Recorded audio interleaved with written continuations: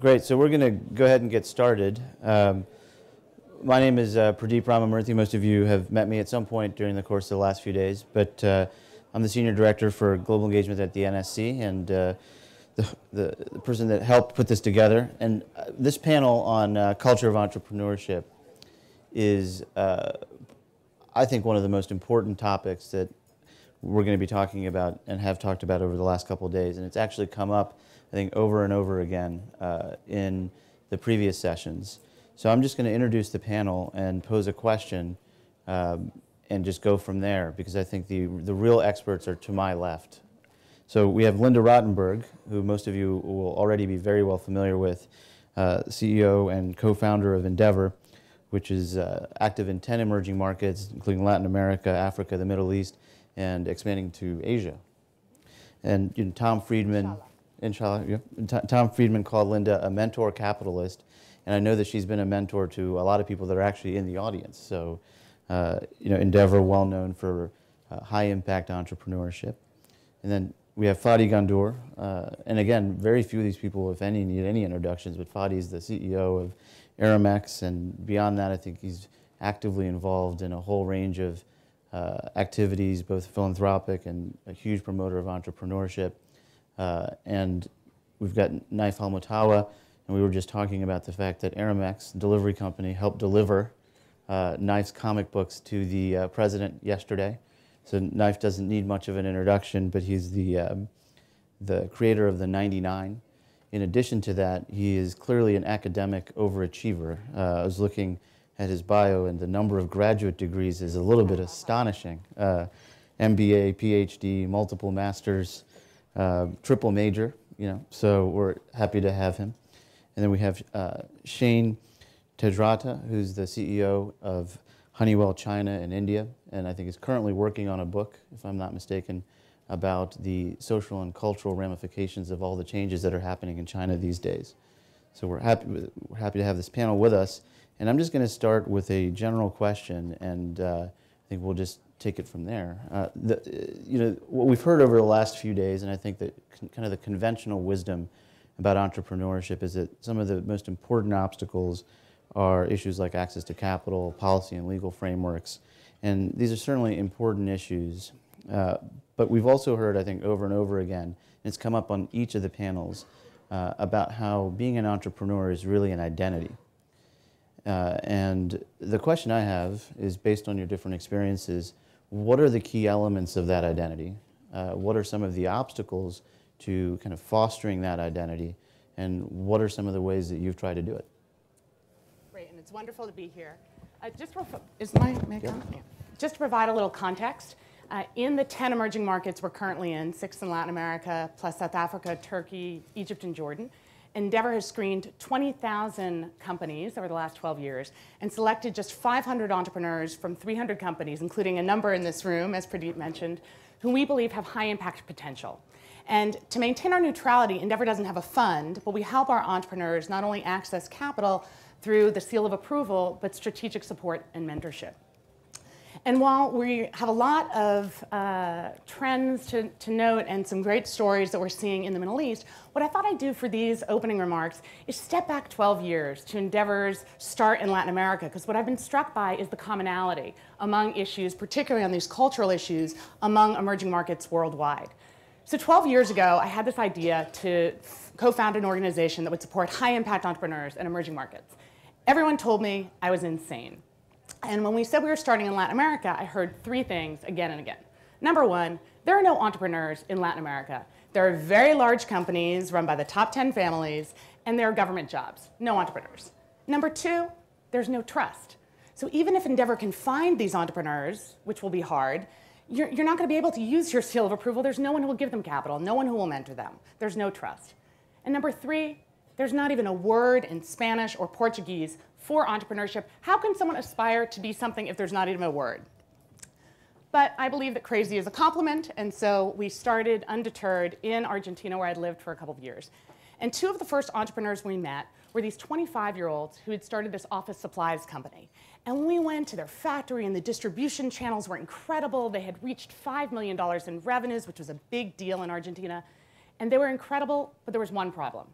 Andy and Santiago had 0% equity in their company. So at the selection panel, we had to tell them, after getting them excited about this word entrepreneur, we'd say, well, actually, you're employees.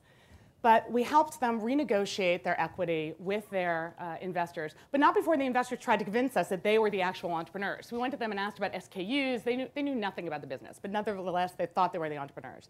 But after helping Andy and Santi get equity in the company, we helped them with their expansion plan, made contacts in Brazil, and then introduced them to Tom Stemberg, the founder of Staples. And a couple years later, uh, Staples bought OfficeNet for $100 million. Thank. And thank you. One of the people that was listening to this story was a kid named Wences Casares. And Wences had grown up on a sheep farm in Patagonia. But Wences heard of OfficeNet and knew Andy and Santi said, ha, I'm going to create the E-Trade of Latin America. So we went to 34 investors in Argentina. Every single one turned him down. We met Wences, it was Wences, his sister, and best friend, and three computers.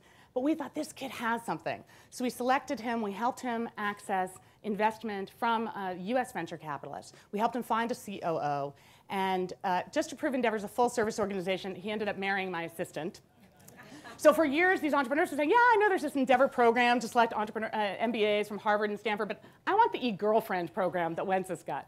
Uh, two years later, uh, Wences sold Patagon.com to one of the largest uh, Spanish banks for close to $600 million.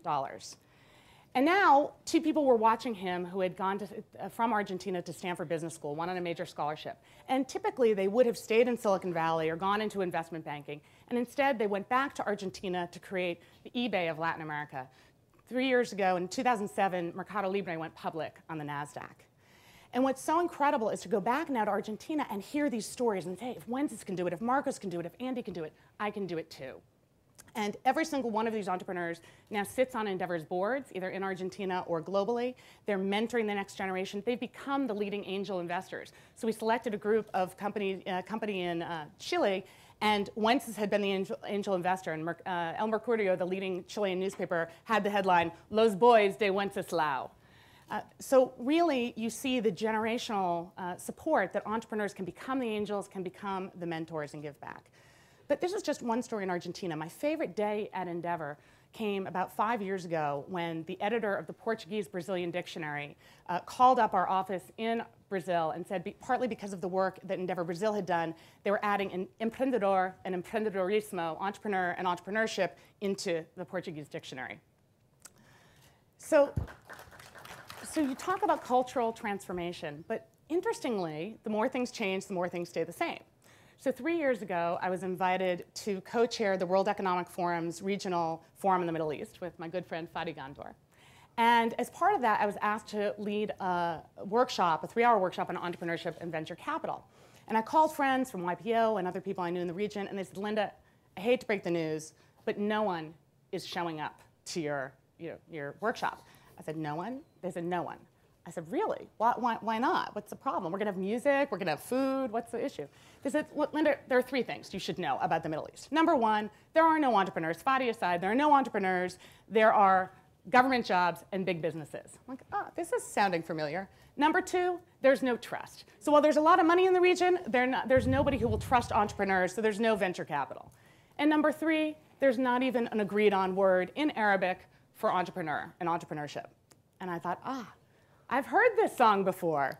And what was incredibly inspiring to me was hundreds of people showed up uh, to that event. Actually, Bülent Çelebi was there, one of our Endeavor entrepreneurs. And people came up to me and said, I'm in Saudi Arabia and I'm leaving my job. I'm going to start a venture capital firm. I'm in Lebanon. I want to become an entrepreneur. And as a result of, of those few days, we ended up launching Endeavor in Jordan and Egypt. We were already in Turkey. And what's so exciting is to be part of this transformation that we're seeing, and we'll get into the details later. But already, uh, Jerry Yang mentioned Maktoob, which uh, Fadi has intimate knowledge of. We start screening entrepreneurs in Egypt and in Jordan. The Maktoob story is known. You have people now starting venture firms and you know, Abraaj announcing its SME firm for the region. And of course, uh, I think the word riada, pioneer, and is, is becoming known as the word for, for entrepreneur. So we're already seeing these cultural transformations. So I'll stop here, but I'll, I'll end by saying uh, that my feeling is we need more people to get on this movement. High impact entrepreneurship is a movement. And as I said at our launch in, uh, in Egypt, you yalla Let's go. Come on.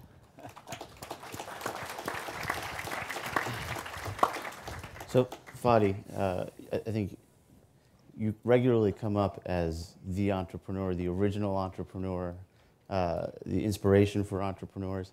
And I know you've given a lot of thought to kind of what it means to be an entrepreneur, what that identity means, and also to what some of the challenges to actually being an entrepreneur are. Yeah. Um, so, if you just want to. Thank you, Pradeep. Uh, well, the good thing about having a, a panel, a late panel, is that most of the issues uh, that we want to talk about now are, uh, have been addressed over the past uh, period. But let me maybe take a little bit of my personal experience and, uh, and tell you a little bit about my, my history of entrepreneurship, which I didn't know. I mean, uh, when I started my business, I had no idea that I was an entrepreneur as such. I'm just discovering that now.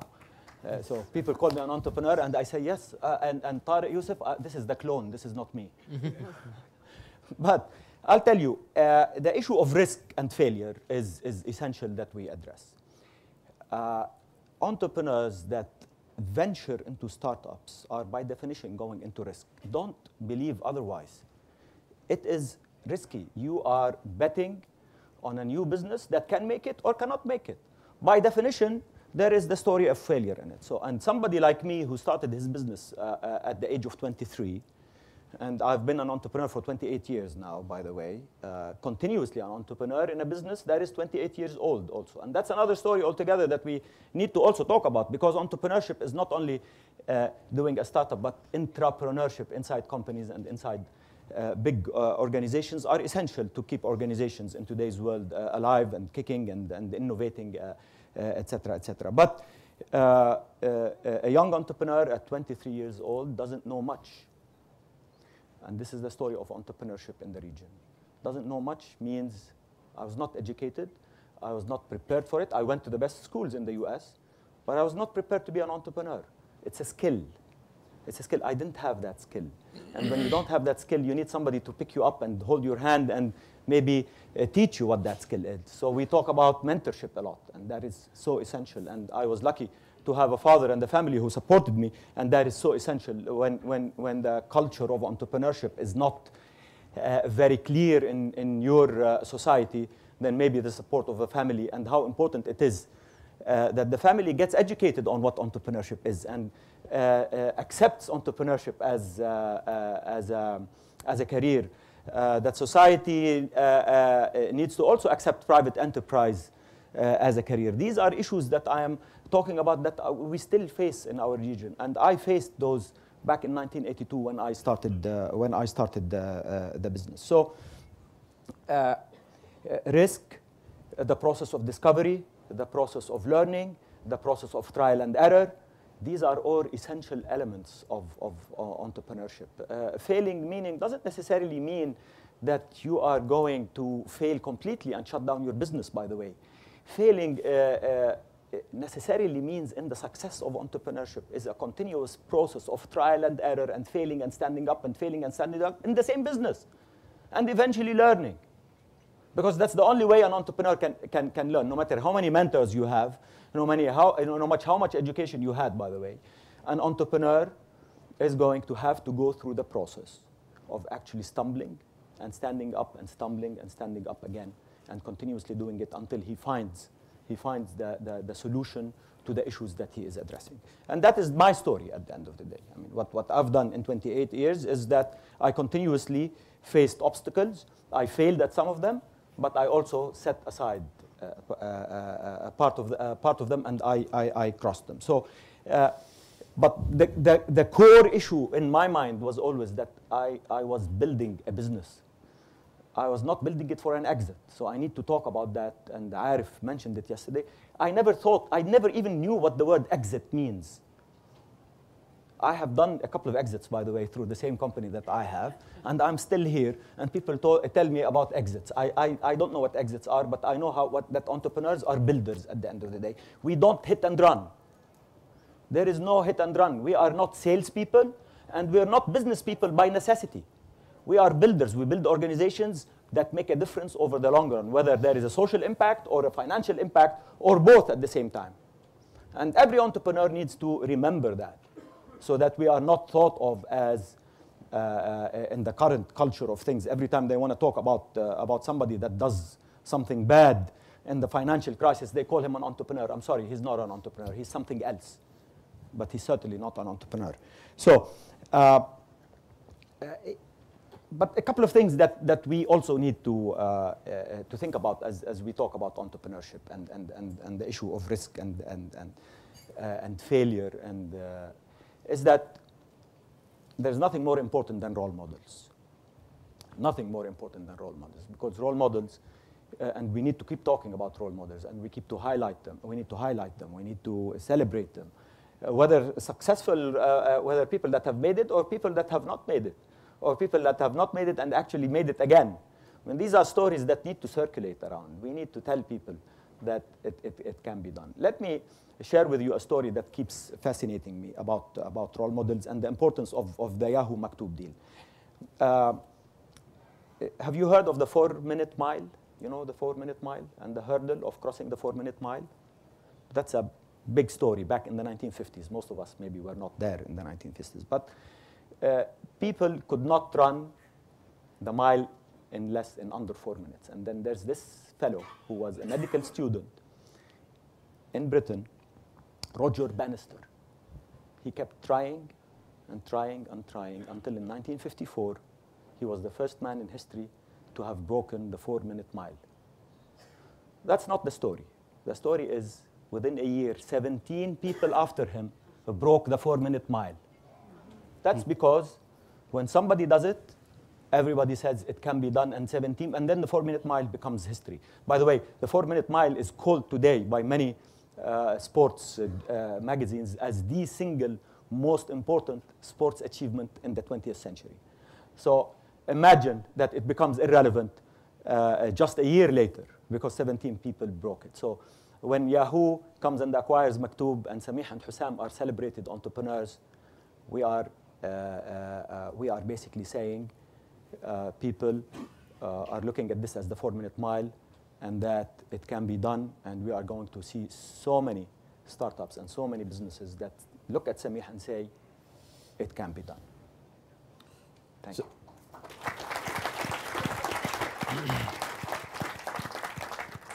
So, Naif, there's a couple questions in there that I think are naturally coming to you out of this. Uh, you know, I, I think we've heard a lot of discussion over the last few days about social entrepreneur, business entrepreneur. Do these categories even make sense? Uh, I, think the other the other question I would have is clearly you are an entrepreneur, but at the same time, in some ways, you are dealing explicitly in the business of culture.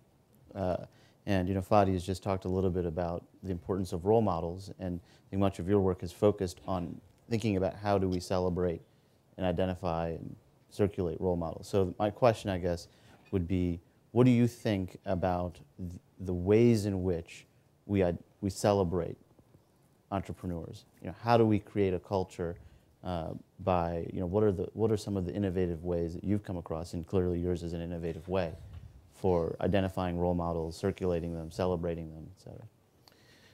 Thank you. So, so when I when I was done with all my degrees and it was time for me to kind of figure out what I wanted to do when I, when I was a grown up at 32, um, I my brother was worried that I was going to stay in New York, and so he called me. My mom's upset. You know, I want to go back, and he said, you know, I said, I, you know, I wanna, I'm I'm doing this thing with media. He goes, but you can do it here. You can you go from being a big fish, a small fish in a big pond, to a big fish in a small pond.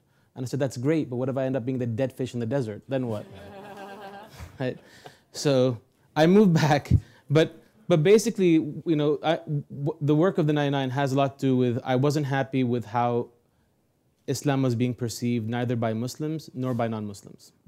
And so it was a tall, it was a tall order in the beginning. But a, a story when I, I have five boys, and my my four-year-old last summer came to me. He's a Scooby-Doo addict. In fact, he he called me a meddling kid the other day. But but he, he came up to me. Uh, I was in my office working, and he was he came in. He had left his Scooby Doo toy out, outside in, in the in in, the, in his house, in his playhouse outside. And he came in and he said, "Baba, I, I, want my Scooby Doo toy." He started get nagging, and I looked up and said, "Rayan, go away. I'm working." And then instead of getting upset, you know, he brought himself down to my level, and he said, "Baba, I want you to come with me to my office in my house. I have work to do." right? So he reframed it in a way for me that I had to do what he told me to do. And so basically, the, the idea, one of my main concerns, you know, initially when I started is, you know, I'm, I'm a clinical psychologist. I worked at Bellevue Hospital in New York in the Survivors of Political Torture program. Heard one too many stories of people who had grown up to idolize role models only to end up being tortured by them. I took a break uh, right around 9/11 and went to business school. And 9/11 kind of 99 grew out of 9/11 because what hit me then was a few things. Number one, you know, the, the media circulated the idea of 911 being the U.S. emergency call and how well thought out the, the numbers were, but it really went way beyond that. It was very Lex Luthor in the sense that 9 times 11 is 99, which is a very important number in Islam.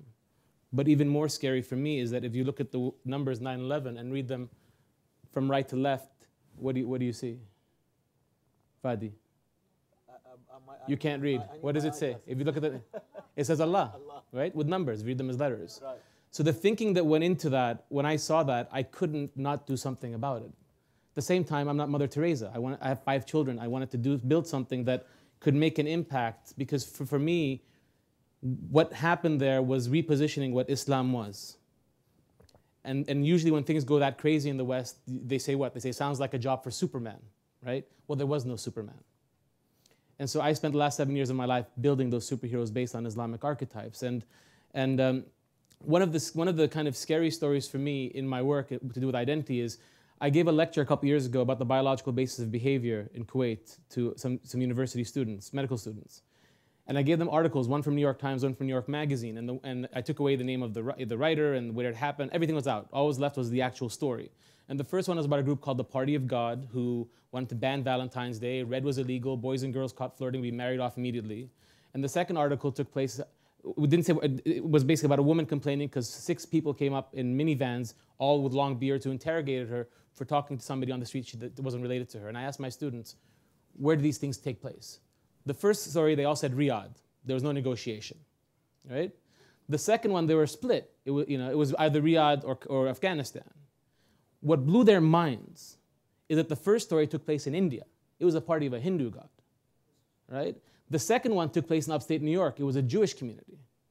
But what broke my heart, and this is where the danger is when it comes to perception and role models, is that in those articles, the people in India refer to that behavior as Taliban, Talibanization. In other words, Hindus don't act this way. This is Islam's influence. The Jewish women in upstate New York called these men stupid Talibans.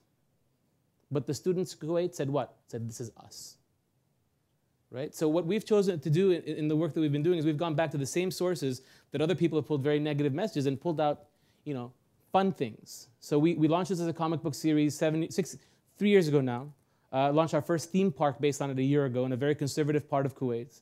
Um, the, and the big news, basically, which, which, which I, I, have permission to tell you about without disclosing the name of the channel, is that we've created 26 episodes of this of the animation. When it comes out, it's going to set the bar on TV animation globally, and we'll be announcing either end of this week or beginning of next week that a major U.S. broadcaster has has picked up the series. So, thank you. So we're going to have superheroes from Saudi and Indonesia and, and uh, you know, and, and, uh, and, and Kuwait and Qatar and, and uh, Egypt and Europe coming into Idaho and Iowa and, and the Midwest. And this is how things begin to change. And one of the, one of the lessons that I, that, I, that I really took from um, is one of the things that the Prophet ﷺ did when he, when, with his, his disciples is that he gave them names. He gave them attributes. Abu Bakr as-Siddiq's name was Abdul Kaaba, right? He gave them things to aspire to what was happening before that in terms of, you know, he did this, no, he did this, you know, they're making the Arabs the bad guy, so we'll make the American the bad guy. That debate, I didn't think was very helpful. So instead of kind of being part of that, what, what we chose to do is create this alternative universe and give kids of all religions something to aspire towards. So instead of feeling bad about where they're at, feeling good about, about what they can be.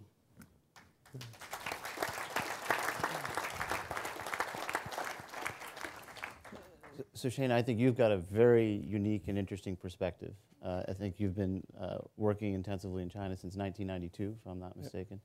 Yep. And uh, you know, I think if you could talk a little bit about what you see happening there in terms of on an entrepreneurial culture, uh, what those ingredients are. Uh, do you see them as something that is inherent, something that was developed, mm-hmm. developing, uh, transferable? sure, sure. Thank you uh, for the opportunity to share some thoughts on, on China. It's hard to follow my colleagues here.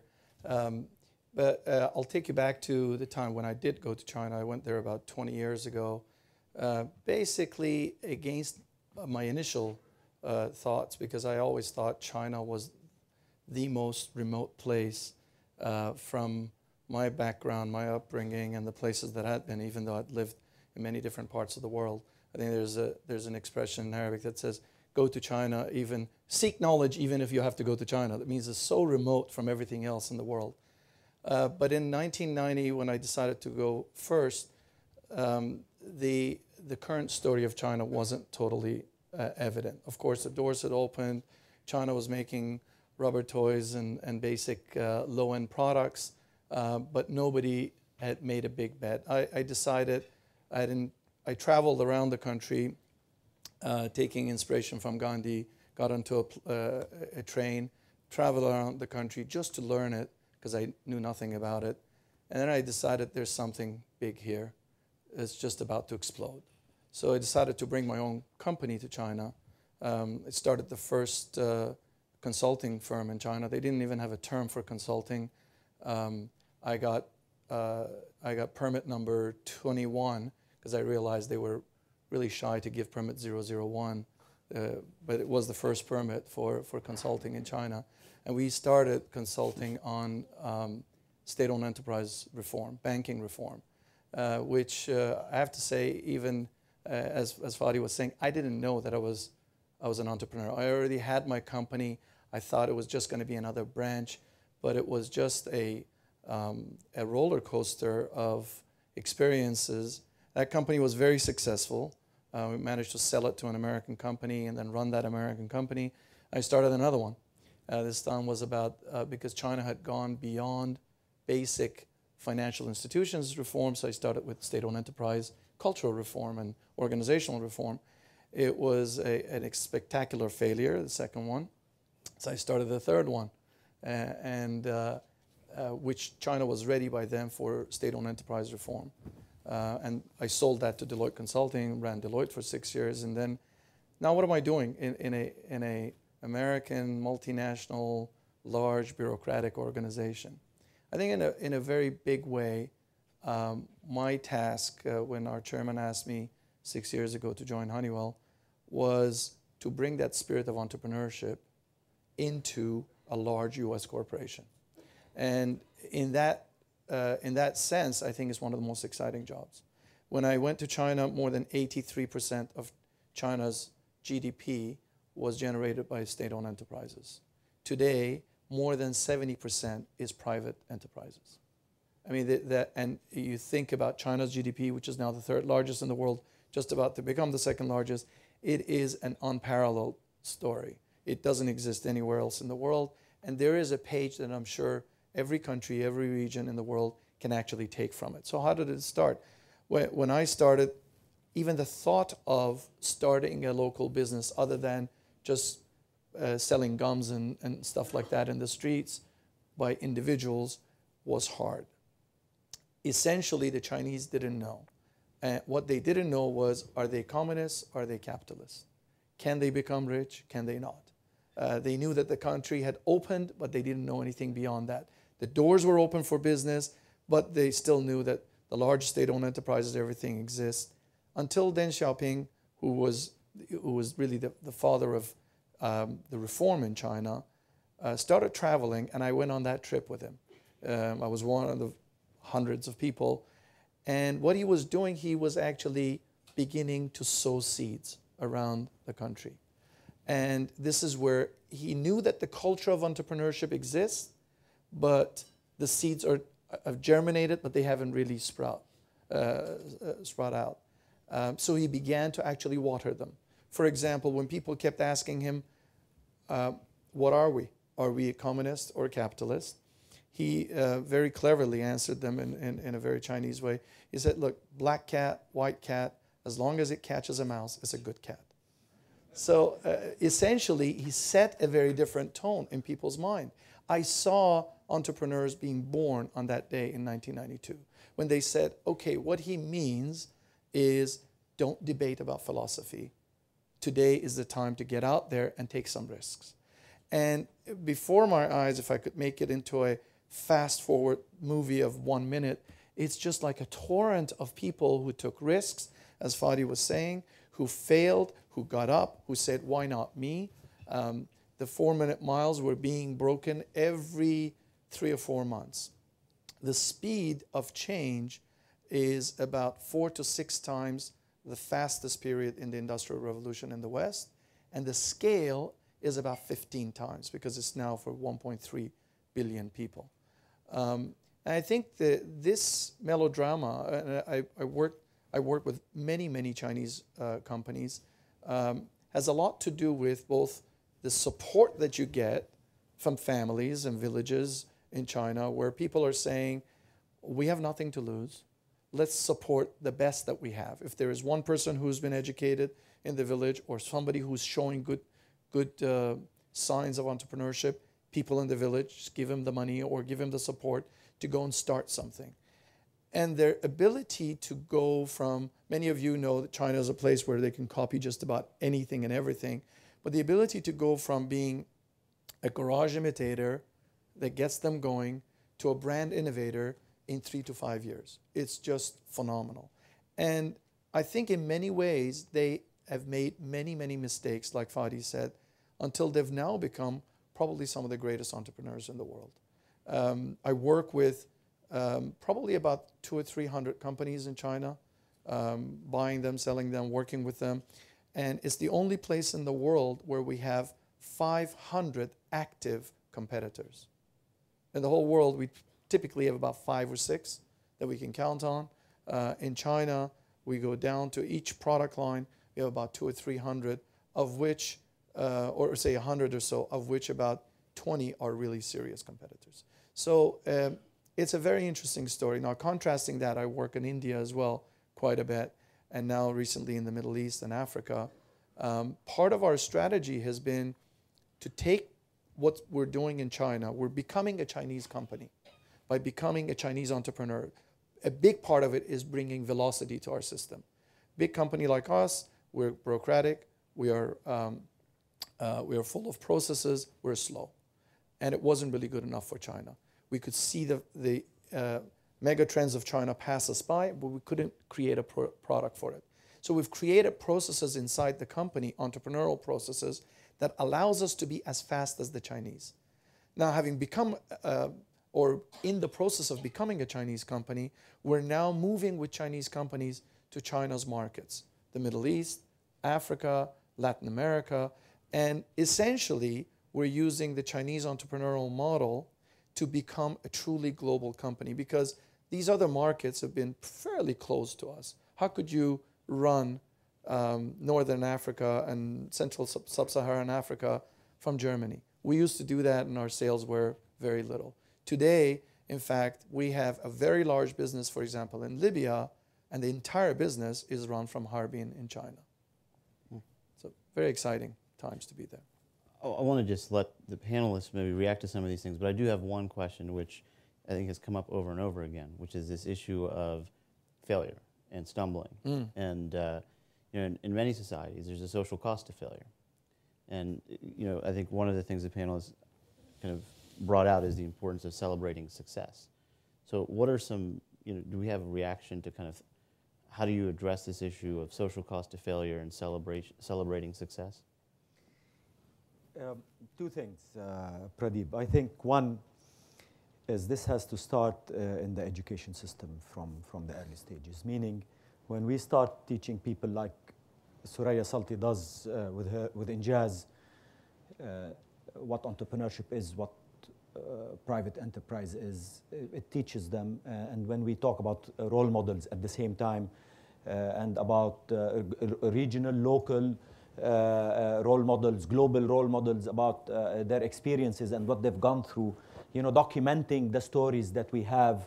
Because when you document any story you're going to find a lot of stumbling blocks a lot of uh, a lot of failures in them so that it becomes part and parcel of the psyche of of the uh, of the individual that eventually wants to become an entrepreneur. There is no there's no shortcuts to this process. It is you know uh, the culture of not accepting failure is deep rooted in any society. You know, no society is going to tell you, you know, we celebrate failure and we're happy that we.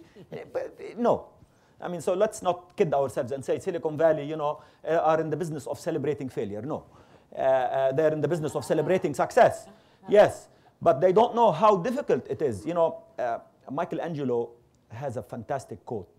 He says, "If people had only known how difficult it has been for me, they wouldn't have seen the glamour in it." Because uh, he's gone through an apprenticeship program, and they beat the heck out of him the, his apprentice. And he was sweeping floors, he was doing everything, and then eventually he learned over many years to become Michelangelo that he is. So we need to tell people Michelangelo went through this before, ladies and gentlemen. He didn't suddenly wake up in the morning and say, ah, I'm going to be the greatest artist on earth. It doesn't work this way. So that is why when we talk about education in the Arab world or anywhere in the world, even in, in the US today, we're talking about how we want to reform the education system so that we can instill entrepreneurship in, in, uh, in, uh, in our schools uh, in the US. It's the same story everywhere. So there is no uh, secret recipe here. There is a continuous process of making sure that this is part and parcel uh, of the education system and this way you will change culture because even the father and the mother who are helping their kids learn will learn by that, by doing that. So learning by teaching. Uh, uh, uh, and and thus uh, you you will have uh, uh, you will have that ingrained in, in, in this. So there's there's no no escaping it. Linda.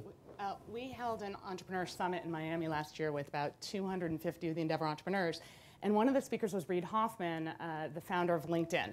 He said, I just have a question for you. Okay, your company's failed, and two weeks later you have a big family gathering. You know, how many of you show up to that family dinner? And most of the hands didn't go up. He said, all right, well, this is the difference between you guys, uh, you entrepreneurs in emerging markets, and me. We fail in Silicon Valley. Not only were we showing up to that family dinner two weeks later, we're showing up with our next business plan on hand and we're asking for capital. So I think that that it starts, you know, even at this at this family level of being able to, you know, be proud not only of of the success, but most of the people in Silicon Valley who are successes will tell you that their first company didn't make it. And I think experience has to matter and showcasing experience as the ability to then be the next entrepreneur who's investment ready. I think that if investors take chances on people that have some experience, even if it wasn't a success, that also creates the highlights of the story from part one to part two? Uh, you know, uh, Pradeep, there, is a, there are two brilliant books that have just come out, and, and entrepreneurs haven't noticed them for some reason, but I think everyone should read them. One is called The Talent Code, and the other one is called Talent is Overrated. these, are, these are two books that you need to read. You know, Malcolm Gladwell made the, uh, uh in his Outliers book the story of the 10,000 hours of training. Uh, the Talent Code, uh, written by Daniel Coyle, uh, basically takes that story to its, its, scientific proof that the only learning that you can go through is a very slow process of deep, tedious practice of continuous stumbling until you effectively find uh, uh, the solution. You will not learn, anybody that has learned very fast will forget very fast. So the process of, of talent is learned there is no innate talent. Nobody is born talented. You are taught talent. And this is something that we need to remember. This is, uh, uh, uh, you might have the initial uh, spark, but if, if, if you were born a genius, let's assume you were born a genius and you were left alone in the desert, you're not going to be a genius, believe me. So let's remember that. And that's when we talk about what, what our roles uh, uh, as, as, as entrepreneurs, if you want, or what our government's role is, is that we need to understand that. That, that, that just bringing it up and saying everybody can be talented, then, then we can find solutions uh, in that. Shane, I want to ask you, and then we'll come back yeah. to Naif. You know, running a company, and you know, you're talking about entrepreneurship within a company. Obviously, as a, as a company, you can't fail constantly. So, you know, how do you promote, you know, how do you change from, you know, as, you know, as Fadi's pointed out, it's got to be a process of learning. Yeah, so how do you promote that culture of learning, which accepts some degree of failure, but obviously absolutely. can't continuously accept failure? Absolutely. I think uh, what has happened, China has done a lot to help us do that. typically in uh, in the U.S. and in the way we've been running what I call a west to east mindset in the company for over 100 years was to minimize the risk, minimize any chance, chance of failure. And our processes were designed such that we have the highest ROIs and highest levels of, uh, of returns, and basically if fail-safe transactions, fail-safe products, etc. Of course, even those failed, but whenever you failed under those conditions, you, you knew where you were going to go. In China, uh, I think the, the um, contrast that we saw with the entrepreneurs and how we were being beaten at our game was that there was an incredible amount of resilience among the Chinese entrepreneurs. They didn't consider a particular business failure as their ultimate failure. It was just considered yet another step in the path. They knew they're going to become a big entrepreneur. It was yet another step. Okay, well, I lost all the money. I'll go and find, I started with zero. I'm back to 0 mm-hmm. I'm going to go and find more to do. And we realized we don't have that in the company. We wanted 10 out of 10 bets to go well, where the Chinese were going between four to six out of bets, average. Uh, so what we did, we created shadow processes completely in, in, in Asia um, that I run for the company that actually run with different set of filters, with different set of criterias.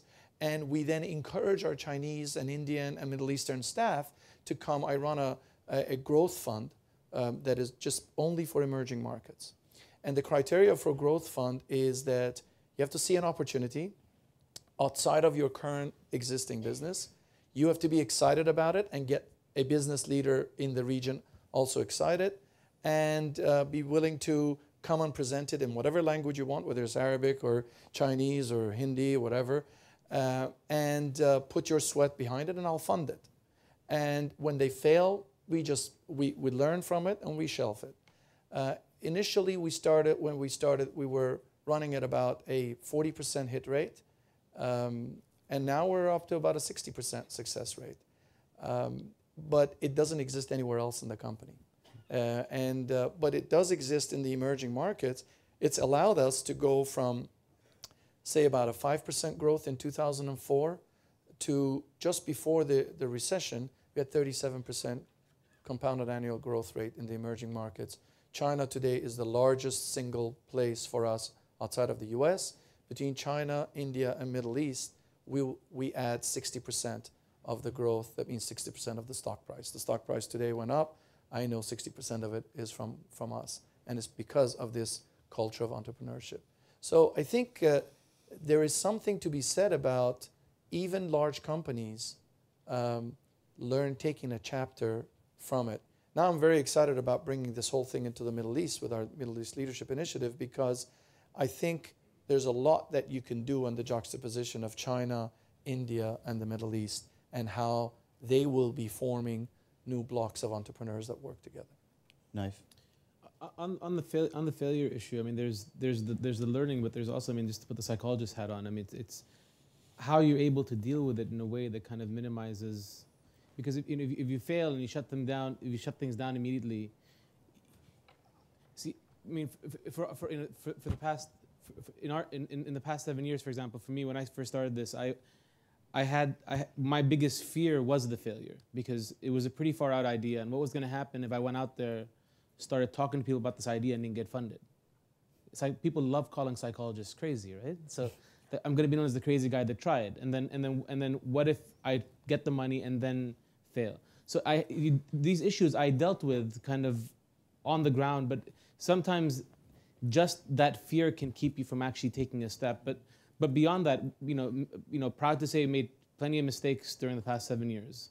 Um, some some of which I learned from, some of which I repeated, uh, and but eventually learned from. But but but the, but the idea that the the idea that um, I mean, approaching it from kind of like a you know meta level and just kind of you know said this, there's this thing called failure and and um, you know we need to learn from it and, and move on. That's that's definitely very very important. But I think kind of the how how what what it means to the person um, um, is going to go a long way towards whether or not something is taken from that. And it goes back to kind of you know what we talk about in terms of in terms of culture. So in in in in our neck of the desert. Um, cult. I mean, failure is not something that really is. Um, how can I put this? Let me. I mean, I'll just. I'll just. uh, Actually, I think I'll just. I'll just end that comment there and, and go back to something else. So why don't we take some questions? Start right here. Ken Morse. I don't think we should allow Ken Morse to ask any questions. So, yeah, Fadi, you, you knew it, it was coming because you, uh, you, you said it can be done. And uh, our host said, yes, we can. And so it made me wonder what you think should be the role of government in fostering uh, the entrepreneurial ecosystems uh, in, which, in which you operate, and whether we should ask our government elected officials to uh, enable more adversity like Michelangelo had, rather than making it too easy for entrepreneurs. Uh, Thank you, Ken. I, I, I- look, um, there's a guy in, uh, I keep mentioning him. There's a man in, um in Yemen by the name of Abdul Latif Shabwa. I'm sure none of you know who Abdul Latif Shabwa is. But Abdul Latif Shabwa is an entrepreneur who started a business in, uh, in a small, uh, in a province in Yemen, uh, uh, Abdul Latif al-Burma, uh, started a business in a, in, a, in a province in Yemen called the Shabwa. So, and he's one of the companies that was acquired by Maktoob. So Abdul Latif uh, got contacted by Samih Toukan, the founder of Maktoob, and Samih says to him, you know, Abdul Latif, we like your business, we want to buy it. Uh, and so he said, yes, okay, good. You know, he has an online business, imagine, in, in, in, uh, in, uh, in, in the middle of Yemen, which, is, which we're addressing in different manners today. But there are entrepreneurs in Yemen. So uh, uh, Abdul Latif says, uh, sure, we, I'll sell the business. And uh, so Samih tells him, after they had agreed and negotiated, Samih Toukan tells him, okay, can you send me your bank account to, so that I can transfer? He said, bank account? I don't have a bank account. Uh, and said, okay, so why don't you, Samih said, okay, let's find a way. They eventually, he eventually told him, why don't you come to Dubai and I'll pay you in cash? He said, uh, but I don't have a passport. Uh, uh, so uh, the point is, Ken, look, if you want to be an entrepreneur and you have an idea and you're going to be able to go out and do it, government or no government, private sector or no private sector, you're going to go out and do it. I mean, not that we want that story to be the norm, but uh, an entrepreneur goes out and does things, and he will fail or he'll make it. That's a different story altogether. Uh, what, what, what I would like to address is not what government is going to do. I think what the private sector needs to do, uh, uh, and then uh, uh, take that towards government. Meaning, when we discover oil in the Arab world, we spend billions of dollars to extract it and go out and sell it. While at the same time, our human talent is there in front of us. We don't need to discover it, it gets born every day. But I don't see the massive mobilization into developing the human mind as much as we're developing that hard asset that is depletable. I don't see it. So we've discovered oil. It's written in the Financial Times, but I, I haven't seen a story that says we've discovered the human brain in the middle of the desert, and we need to spend billions of dollars to develop it. Wow. So uh, uh, that's what we need to do. We need to recognize that the, the, the, the, brain is the, the only renewable energy that we have. It is the only energy that we can bet on. And, uh, and then you take it from there. You can become an angel investor, you can create uh, bankruptcy laws, uh, you can uh, have incubators, you can have all that. You know, there are books about this, uh, Ken. I mean, the governments don't need to reinvent the wheel. They, they, they, you know how many consultants pass through the Middle East every day? I mean, it's like the best pastime. You know, consultants, when, when we're booming, they come. When we're failing, the same consultants come tell us how, how do, we, do, we, do we unfail our economic policies. because it's the same guy that does this and that. So he tells you to do this, and then he fails, and then he tells you, oh, don't do this, do that. So we know, we know how to do this. Maybe, There's- maybe he's there's- just an there's no entrepreneur, secret. Fadi. I love consultants. One of the things that's sorry, Shane. No, one of the things that's interesting is a consultant listening. He used to be. No, not anymore. Uh, is that you know regulatory barriers has not come up a lot, and what we find is entrepreneurs on a list of their barriers to success, the, the lowest rung was, was regulatory barriers. Entrepreneurs find a way to get around things. And in fact, actually, access to angel investing, friends and family, was, was not high up. It was, it was sort of the access to role models, a network that believes in me, someone who will help me think bold, dream big. These are things that entrepreneurs talk about, which get to the, the cultural aspect. But, but getting to where Fadi said, let's start with the private sector and then can uh, go to the government. You know, I want to talk for a minute about the, the, the investors in the room because um, we know there are exit issues. We know that capital markets reform. We know that bankruptcy laws. We know that uh, minority shareholder rights need to be worked on. But I think that sometimes there's an excuse built in among uh, investors who end up taking 95% of the company. There's no reason to take 90 or 95% of the company. And just a story that happened in, in Egypt uh, a month ago. We had one of Endeavor selection panels, and my favorite story was this group of uh, the 3D animation uh, artists and engineers that were based in Cairo. They were hiring up all the engineers in Cairo to create a 3D animation story uh, firm that was Microsoft and Sony certified. It's one of the leading uh, virtual gaming companies in, in the world really now. And we'd have the panel Silicon Valley venture capitalists and the CEO of one of the largest solar uh, company in the US saying, oh my God, what a great story, Cairo. These are better than we see on Sand Hill Road. Ah, this is easy, no brainer, 6-0, let's move on. The other half of the table were Egyptian and Jordanian uh, business leaders who said, no way, we're not voting for this company. And the Silicon Valley says, are you kidding me? This is like the slam dunk. What are we talking about? They said, no, no, no. These entrepreneurs have so little equity in the company, forget it. They're going to fail, and we're better off giving them $10 million and 30 or 40% equity in a new company and starting a new company. And the Silicon Valley folks say, but, wait a minute, let's just recapitalize the company. We do it all the time. And the Egyptian said, no, no, no, you don't understand. I know this VC, they have government money, it's terrible. They're never going to renegotiate. It's hopeless. This is doomed to fail. I just I can't feel right about selecting these, these kids and then letting them fail because they have they got so sc- screwed. Sorry. Um, and the debate goes on an hour, two hours, and finally the Silicon Valley guy said, "Look, why don't you let us take them on? We only have leverage if we select them, and then let's go try to work with this VC firm." And worn down, the Jordanians and the Egyptians say, "Fine, well, good luck, but okay, they're in."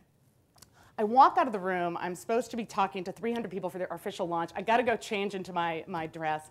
And this guy walks up to me and says, Linda, Linda, it's so great to see you here. I saw you at Stanford Business School. They were doing your case study, and you were just thinking of coming to Egypt. So glad you're here. I'm like, ah, got to run. Nice to meet you. See you at the launch. He says, no, no, no. You don't understand. I left Stanford Business School, went to McKinsey, and then I went to work at, and proceeds to name the venture capital company that had been you know, talked, discussed for two hours in the session. He said, you know, and my managing partner and I were in the back of the room and listened to everything that was said. So I said, oh, hi, nice to see you again. And he said, no, no, no, you don't understand. We, we heard what was said, and we want to give these guys more equity. And we'd love to sit down with you in dinner and some of these venture capitalists from Silicon Valley because we want to give these guys you know, equity in their company. And we believe that that's important, but you know minority shareholder rights are issues here and exits. So we really like to work together. And to me, this is a great story because I think that there's goodwill on a lot of ends, and I think that we need to start to work together. We now have a mentor capital program really to train angel investors and venture capitalists on what clean ter- term sheets would look like. We're working with entrepreneurs to make sure they're smarter to get better valuation. But then, Ken, to come back to your question, eventually we do have to deal with the exit issue. We do have to deal with, with capital markets and some of these issues that are on a large scale going to make the, the, the difference. Okay, I'm I'm going to stand up because I feel like this area might be getting ignored all day because the podium is right in the way. Um, I think they're also ignoring us. okay, great. so why don't we go right here?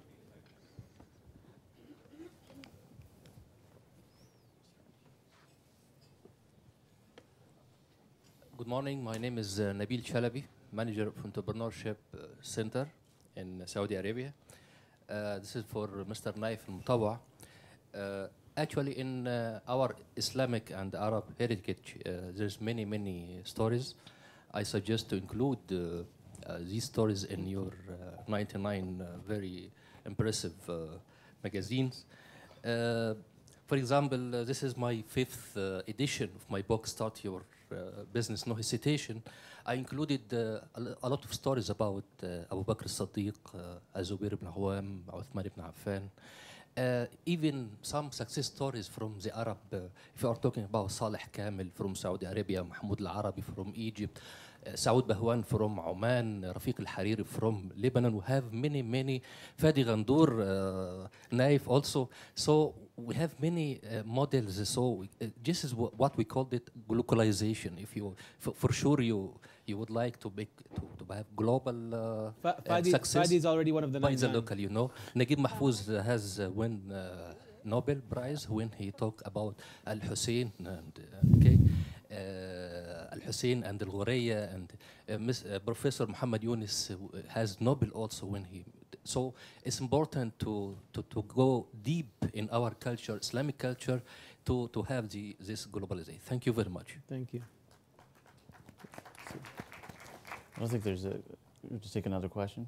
Is, is- is that, is, should I, it's a comment, yeah. okay. Yeah, I think so. We're right here.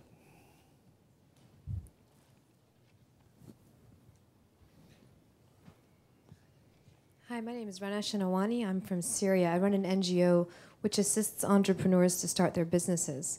And I feel, listening to everyone up here, I'm feeling so ambivalent because, on the other hand, my husband is an entrepreneur and he's always pushing me, let's, let's bet it all, let's gamble the whole thing. And of course, as a woman, we're quite conservative. What about the kids and their private education, et cetera? So, what, as I'm sitting listening to everybody, I'm very inspired. And all the lectures and all the inspirational talks that you're giving, of course, I give them to my beneficiaries all the time. On the other hand, I go home to my husband and say, hold on a second, you know, before we sell that piece of property for the new business, let's talk about this. So I'm quite hesitant. The truth is that there's quite a selection bias up here.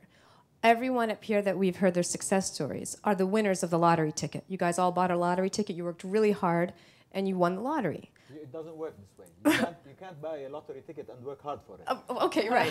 but but the, t- the truth is, I would have liked to. the truth is that there's a selection bias, and you're all the winners of the gamble. But the vast majority, I mean, basically, statistics are against them, and chances against them. And so I just wanted to know, how do you guys feel about that, or what would you say to address the people who um, you've kept talking about failure, but the truth is that the numbers are against them. So how do we s- how do we encourage the people who are who are skeptical? Just another quick question for Dr. Naif. Uh, I just wondered, is the comic available in Arabic as well? Um, you wanna take the fir- Why don't you do I, that I, want to first? question the premise of, of the numbers being against them. I don't know where you got that statistic from, but uh, Let's do the let's do the Arabic one first because I think that's an easy answer. It it is in Arabic. Actually, the one I have up here is. It's in eight, it's in eight languages. It's in Chinese. It's in Turkish. It's in Hindi, Urdu, Arabic, English. Um, but I, but we've been trying to get into Syria for a while. There's I guess one distributor that doesn't answer emails or fax or faxes or. We tried Morse code, but We didn't mention that. I mean, we, we, are, we are all big fans of, of, of, of Muhammad Yunus. Uh, Fadi went up and defended him yesterday. What we believe is there are a lot of initiatives on the ground helping people at every level, at the micro entrepreneur phase. And at least in my experience, there have been very few efforts to celebrate the success stories. So when we went down to Latin America, as I mentioned, there wasn't a word for entrepreneur. So I told the story of Steve Jobs and Apple Computer. And a kid came up to me afterwards. He said, Linda, how is this relevant to my life? No one in Latin America is going to give me uh, money for my crazy idea, and I don't even have a garage. So this idea of these Silicon Valley from the garage success stories had no relevance. And the fact that they can say, hey, wait a minute, that kid Wences, if he can do it, I know 34 investors turned him down. He came from a sheep farm in Patagonia. If he can do it, I can do it too. I think the more we can get throughout the Middle East and Asia and Africa and, and Latin America, these homegrown success stories, that creates inspiration all the way down. It's not to diminish any of the work being done at the bottom, but no one had been working kind of at the top of the pyramid. And, you know, just can, if- Fadi, can I just eh, one thing I would, and I'm not an entrepreneur. I'm the epitome of a. you will be one now. you know, I'm an epitome of a bureaucrat. But, you know, the the thing that I wrote down on my note card here is the word persistence, because you know one of the things that strikes me about the point that you made is, you know, and uh, Fadi's talked about this is he was one of those people that failed. You know, Yeah, uh, failed I- again, I- I and I mean I think the, the story is the persistence issue. I, I, I'll give you my example. I, you know, uh, uh, back in 1996, uh, when Aramex was barely uh, able to meet its salary dues every at the end of the month, so it's not like it's been rosy all the way through. It's uh, persistence. I kept managing cash flow from 1982 un until 1996. My life revolved around managing cash flow. But that's not the story. I went out and said, I need to raise money. I went into uh, the Gulf uh, to raise private equity money. Everybody told me, you have no assets. We're not going to invest in you. What value is it that you don't have a building? Yeah, I have clients. I have service. I have a global network. Not interesting. You need assets. So, and that, we failed, right? My partner and I, you know what we said? We said we're going to go to NASDAQ. And we succeeded. We, if, if I hadn't failed in my private equity round, in the, my private placement round, we would not have gone to NASDAQ. That is entrepreneurial. That means we failed here. We said we're going to find another way. We went to NASDAQ, and, and the rest is history. We became the only company that has gone public on NASDAQ at the end of the day. But, but I want to also tell you something that I'm also an angel investor with the guy right behind you. Uh, his name is Arif Naqvi. I do not have a single day where I don't get an email from an Arab entrepreneur somewhere in the Arab world with a business plan yeah. telling me, I want you to invest in my business. One. Number two, before the investment, you know what he tells me? I need your advice because I need somebody to help me. I need somebody to explain to me. I need to have somebody to open the doors. I need somebody to lobby with government. I need somebody to, to, uh, uh, uh, to do this and that for me. That's the role of the private sector. So the, the numbers, I don't know where the statistics come from, but I'll tell you what. I'm willing to put a bet on the youth. Out of every 10 investments, like in Silicon Valley, maybe two will make it. But then that, these two are role models for the next two that are going to make it. So we need to do that. Shane, did you want to say if, something? If, if I can just answer the point, it, it, the point you brought up was about is, you know selling an asset to, to start the start something entrepreneurial. For, for me, for me, what, what's worked for me is doing that means you only have yourself to make the decisions, right? So there's no business plan, there's no other people looking at it, helping you kind of change it and change your thinking. And that's where it's important to kind of raise outside money because they tell you, well, you know, we'll put in money, but we don't like what you're doing here, we don't like what you're doing, and then you change what you're doing. But if but uh, you, you, that's a good instinct that you don't want to sell the thing to do it on your own because that's just one person. Um, but yeah, I, I, think uh, I think we could. Uh, it's true that there are for every entrepreneur that succeeds, there's probably a whole bunch that don't succeed. But if you, I think if we accentuate that negative thought or, or, or look at that, that's what we will end up having on, on our plate. If you look at China today, um, yes, there are many entrepreneurs that, that have failed. But 71% of the economy is run by private entrepreneurs at the end of the day. So is that success or is that failure? And those entrepreneurs are actually hiring those failed entrepreneurs of other places. So exactly. for every two that have succeeded, they have hired the rest of the failures. brilliant uh, thought because many of us that continue to run businesses that have many people, if, if somebody comes to me with a CV that says he has been an entrepreneur and he failed, I'm going to hire him. Exactly. I'm going to hire him exactly. because he knows much more than somebody who hasn't tried. Exactly. Exactly. Yeah. No, this you know this reminds me. I'm from India, you know, and you're a little kid.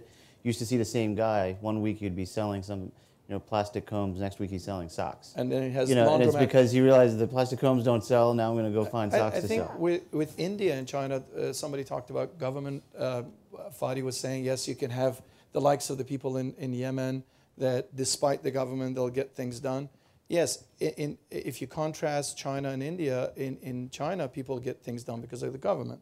You know, it's, it's just made things much easier. In India, people get things done despite the government. When the government sleeps, then they start growing. But the, the thing that I see different, though, when you want to scale things on a, on a massive scale, like in all of the Middle East or, or, or in China or in India, there is a thing to be said about the government. Because whilst entrepreneurs have succeeded in India, um, only, two categories have succeeded. One is the big guys, the Kingfishers of this world, the, the, the Tatas, et cetera, et cetera, and the very, very little ones. The mid-size, the 100 to 500 million dollar companies, the, the, the, the entrepreneurs that, that proliferate across just aren't there in India yet. Why? Because doing things for them is, um, is, not, is unpredictable. They just don't know whether they can get that business license in X number of days, in X number of uh, months. And in China, what the government has done is actually made life more predictable for the average entrepreneur. And you, what you see is the middle of the pyramid in China just mushrooming. So I think in the Middle East, if we want to get a lot more of the mass of entrepreneurs coming into the into the place, there is a role for actually making life a little bit more predictable because already a life of an entrepreneur is very unpredictable. You're saying you want to know exactly when Eid is every year? let's, let's get the person in the back here. Even that changes. Assalamu alaikum. Walaikum assalam. Uh, my name is Munqidh Mihyar and I'm from uh, Jordan. I'm the chairman of uh, Friends of the Earth Middle East EcoPeace. Uh, for the story of uh, failure and non-failure, we still uh, failing because we are in the business of uh, securing uh, uh, just water for the Palestinian territories in Palestine. But we will keep trying, of course. Before Skoll Foundation spotted us as entrepreneurs, I came across the term without really knowing what it is and never paid attention. But when I went to uh, Skoll uh, Forum in Oxford, in England, I met a uh, real entrepreneurs, and I can recall one of them, uh, Bunker Roy from India, uh, establishing the and founding the uh, Barefoot College. Look him out; it's a, a real entrepreneurship uh, activity, let's say. Uh, coming here to this uh, uh, conference also made me uh, understand a bit more and realize why the government and especially the uh, state uh, are taking interest in this initiative, entrepreneurship. It looks like that we're preparing ourselves for the future with all these young people coming for the job sector or finding jobs in the future. Here we are trying to secure the jobs by the uh, young people coming out. So this is great initiative. Fadi, I want to go back to your uh, speech in the beginning. I sensed in your uh, uh, speech that you were a bit afraid of the term to be hijacked somehow by by uh, by others that uh, Yes. they are not entrepreneurships in the in the beginning. So mm, I, I want some I'm- more collaboration on that. Thank you very much. Thank you, Munqidh. But my, my point on uh, labeling every single private business as entrepreneur, uh, entrepreneurial is, is not correct. It's a matter of definition. And, and uh, the media, which has a huge role in, in uh, uh, disseminating the concept of entrepreneurship and private enterprise and etc. I, I answered my question on that by saying entrepreneurs are really builders. They build businesses like Mo Ibrahim. He's, he's built a massive business. And then as he exits one, uh, he enters into another entrepreneurial venture that adds value, that builds, that, uh, that employs, uh, that doesn't hit and run, that stays there for a long time.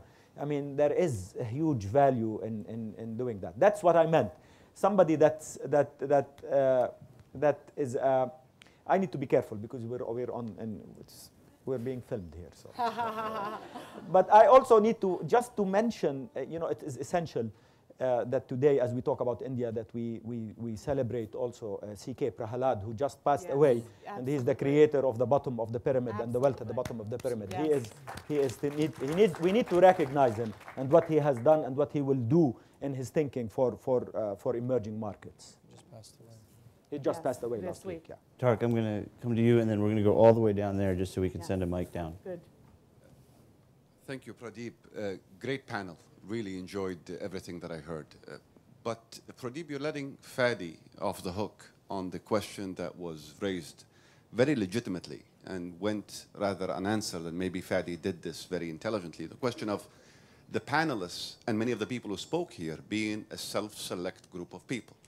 Uh, that doesn't mean people who are elitists or people who necessarily come from a certain class of society, but they're people who've succeeded, maybe failed, and are still standing.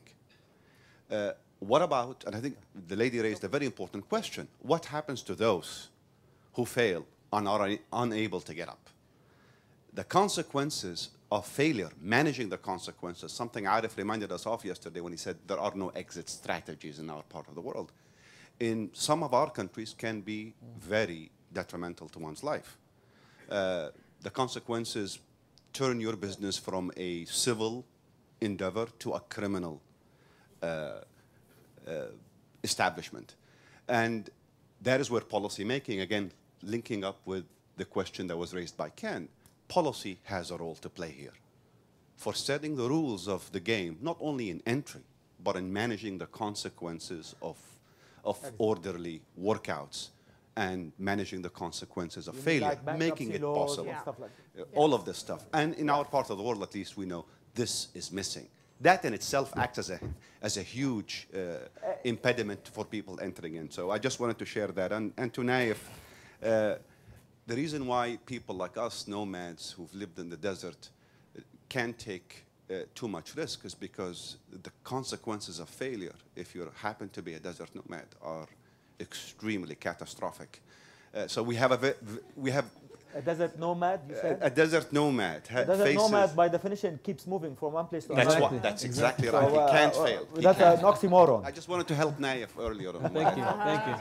But, but I think that y- your point related to, to our friend's point over here about the assets, right? And the fact that women often are a little more conservative because of the, the war, concern about the children the private school education in the house. I mean, I think there's a reason why globally entrepreneurship tends to be a young person's business.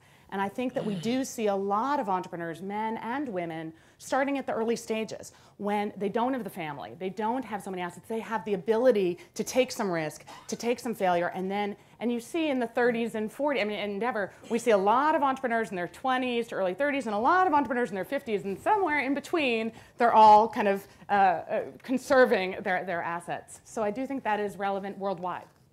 But, but there's no question about the need for an enabling environment, uh, Right. uh, uh, Tariq. There's no question. I mean, I, I- as I answered Ken, the, you can take them off the shelf, uh, d- d- take the dust off, and implement policy. This is the easiest thing, by the way.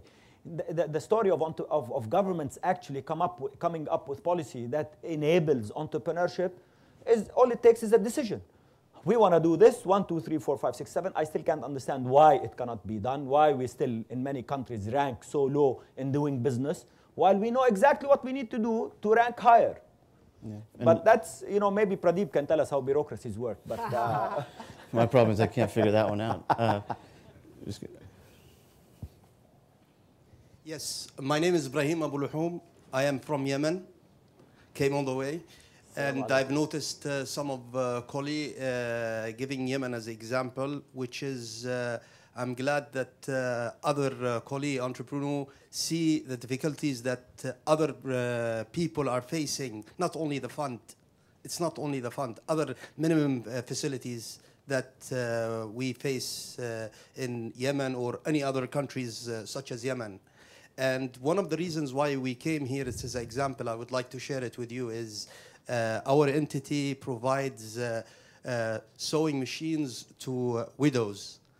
And uh, after a year and a half, one of the widows that we provide the machine, she came and donated 12 machine. And we've realized that she opened a big shop. It took her a year and two months.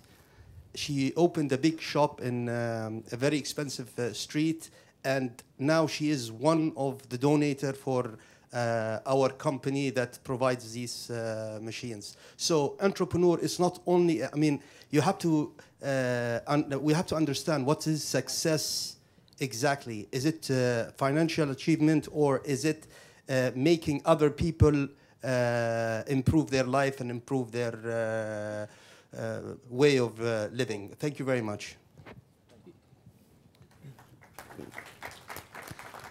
You want to take one more question? Yeah.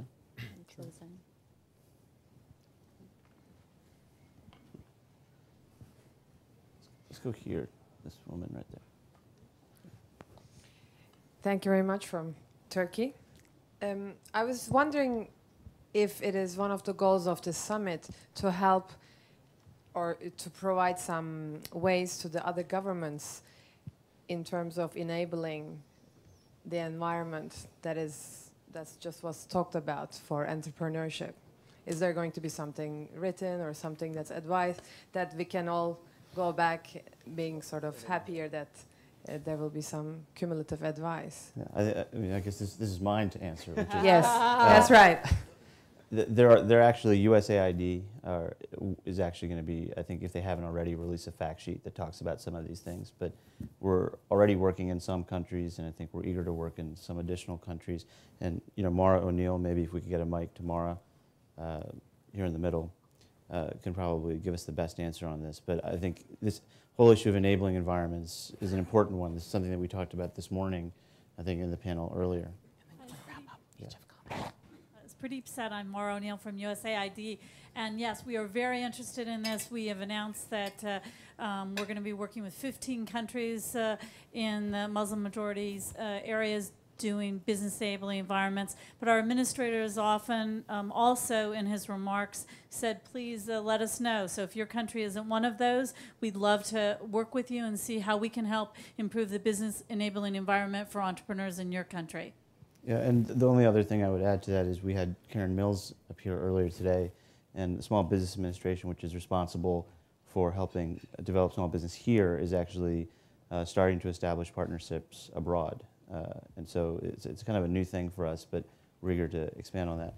Uh, we're going to wrap up. If I, Oh, nice. I just want to make a comment about mentorship. I'm, I'm somebody who, if not for my mentors, could not have been able to get to where I'm at. And, and you know, one of them has been Fadi on issue. I, I'll call him up and, and you know, if I get frustrated with something in the region or I'm, you know, just feel something is wrong and just kind of tap into his, his, his advice. But also one person, I mean, uh, without mentioning names, who kind of just really made sure I didn't get taken advantage of. It was it, it's it's a, somebody from the U.S., a Hollywood name, who I was had the privilege of meeting, and he's been advising me for three years now without taking a penny from me. And and basically, I have access to him whenever I want, so I don't abuse it. It's every couple months I give him a call or when I need him, and he he pretty much when we when we were ready to sign the animation deal, I brought it to him because I had access to him, and he said it was okay.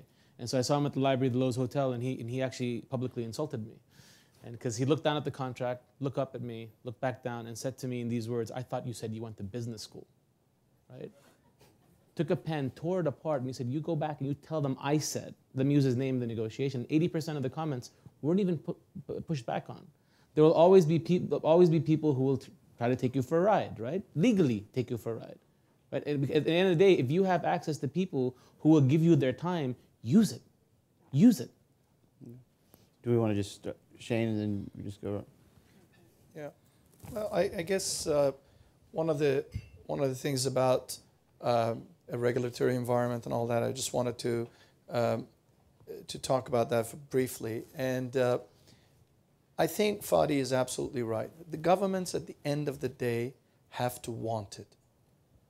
And if they do, it really isn't rocket science. But rocket science is easier because there's a science to it. Uh, and if you really want to go do it, and you can do it by the book. Um, many countries come to China now, many countries, including a lot of the countries in the Middle East, and they have this terminology called uh, development China style. How can I keep an authoritarian regime but still grow like, like, like mad? And uh, just a, a, few weeks ago, the, the head of uh, National Development and Research Commission, there's a, a super minister, called me up and said, Look, I, I, need some advice from you. Come over to Beijing. I went over there and he said, Well, people from Iran were here. And they were telling me that, uh, because of your background, want your understanding, they were telling me that they want development China style in Iran. They want to keep a, a regime that, that is a, a single party regime and everything else that goes with it, but they want to grow like crazy. And when we started talking about all of these other uh, the regulatory things, I said, wait a second, wait a second, we're, we're going to lose all all control if we do that.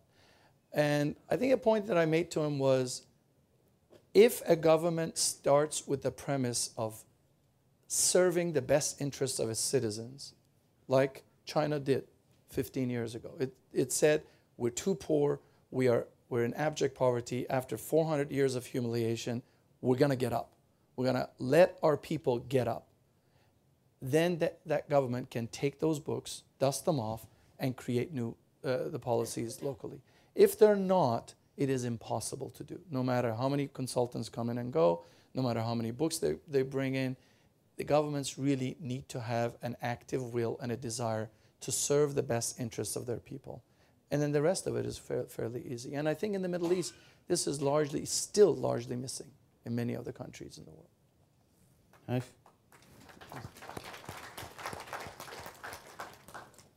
I mean, just general com, just general Yeah. wrap up. Um, you know, it's it's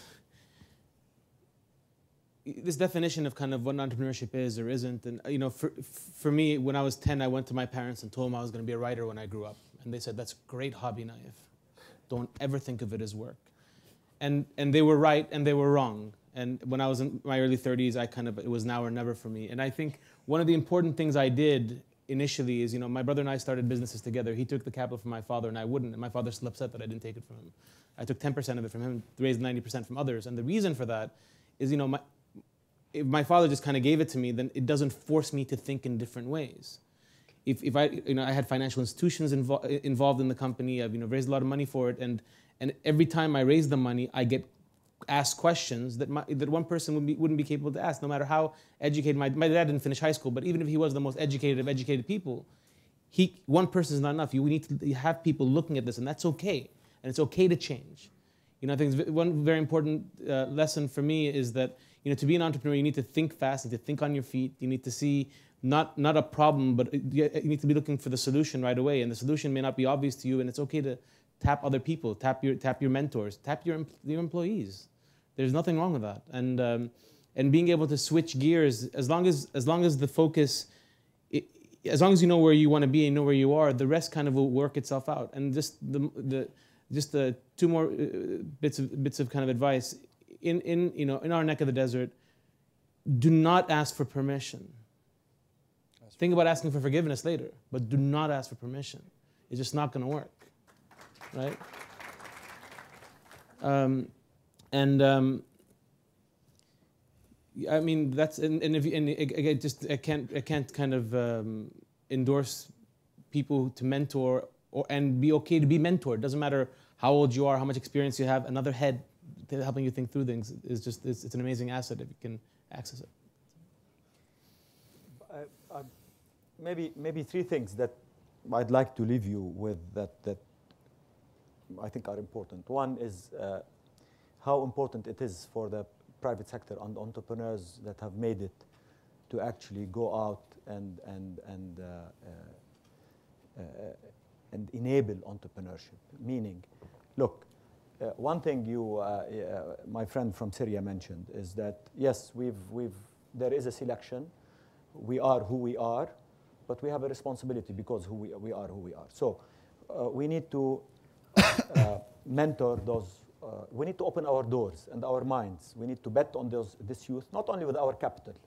Capital is important, but not only with capital, with our knowledge, with our capabilities, with our businesses, with our access, with our lobbying. We are strong with governments. We need to go and lobby government. We should not be scared. The private sector needs to be, take an activist role and go out to government and say, this has to be done. We need to force ourselves, for instance, on the education system as the private sector and tell the educators that this is how you need to educate, not only to become entrepreneurs, but to give these people skills to become employable. The issue of work hmm. ethic in the Arab world, and I'm only going to talk on the, in the Arab world, is a huge issue. The employability, not only with the skill, but the wanting to, be, to work. There's a huge issue. We have millions of expatriates working in our countries, and we have 40% unemployment among our youth. There is a schizophrenia there. There's a schizophrenia. Not that we're I'm against expatriates, but you know, when we have 40% unemployment, we need to question what is it that is going wrong. And one of them is, other than the skills, is the work ethic.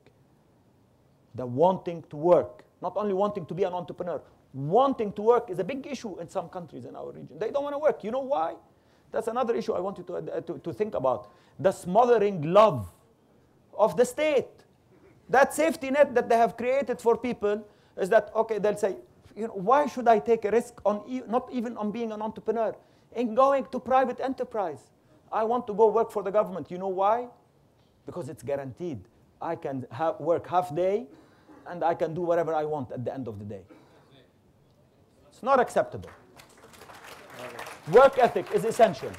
So the state, the safety net is important, but uh, uh, when it is overly protective, you're basically telling people, you know, we're here uh, anything that happens to you, we're going to protect you. That's, that's the, the, the third thing that I would like to, uh, uh, to talk about is, is, uh, uh, is what we've talked about and, and for us to continuously think about is, is the role models. How do we document them?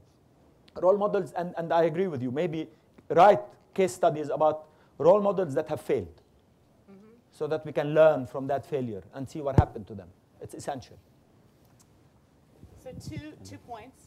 One, one thing we didn't bring up, but that comes out a lot in our work, is that over 50% of the Endeavor entrepreneurs are running family businesses, um, which is a wonderful thing, but presents some challenges. So we often had entrepreneurs coming to us and saying, gee, Linda, I got a problem.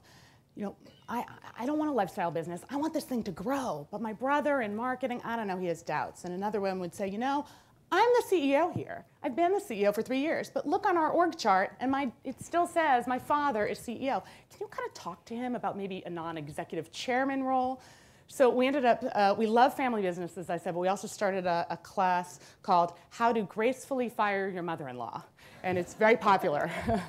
and we also found, by the way, that our uh, five of our eight worst performing companies in Brazil had one thing in common. They lacked a shareholder agreement.